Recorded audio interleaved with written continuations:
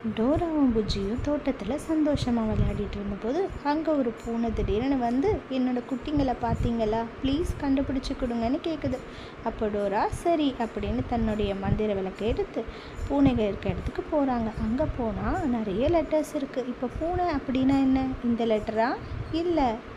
எதில் ஆரம்பிக்கும்? C S C அடுத்தது என்ன வேணும்? எந்த லெட்ரு எந்த லெட்ரு டியா இல்லை. ஏ ஏவை கொண்டு வந்து சேர்க்குறாங்க. அதே மாதிரி டீயை சேர்த்து ரெண்டு பூனைங்களையும் காப்பாற்றிடுறாங்க இப்போ பூனைங்களுக்கு ரொம்பவும் பசிக்குது. டோரா தாங்கிட்டே இருந்த உணவை அவங்களுக்கு கொடுக்குறாங்க. ஆனால் குள்ள நெறி அதை வந்து எடுத்து சாப்பிட்டுட்டு மறைஞ்சு போயிடுது.